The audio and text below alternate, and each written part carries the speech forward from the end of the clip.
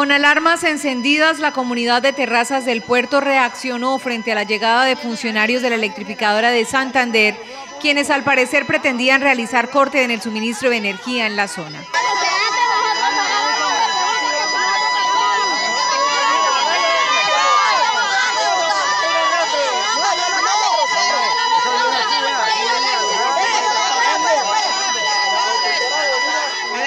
Ahora le dijeron a la gente de afuera que esto lo venía la constructora,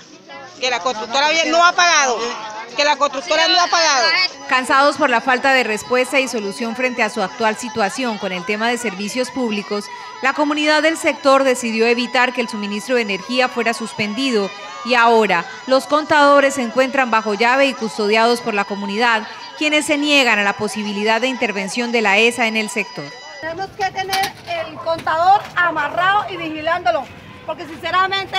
acá llega la electrificadora con un recibo de 2 millones de pesos alumbrado público, donde a nosotros nos llega un recibo donde estamos pagando el alumbrado público. Sigue siendo un dolor de cabeza para esta comunidad su problemática de servicios públicos, de la cual no tienen respuesta y sienten que no tienen doliente, piden ayuda a entes competentes.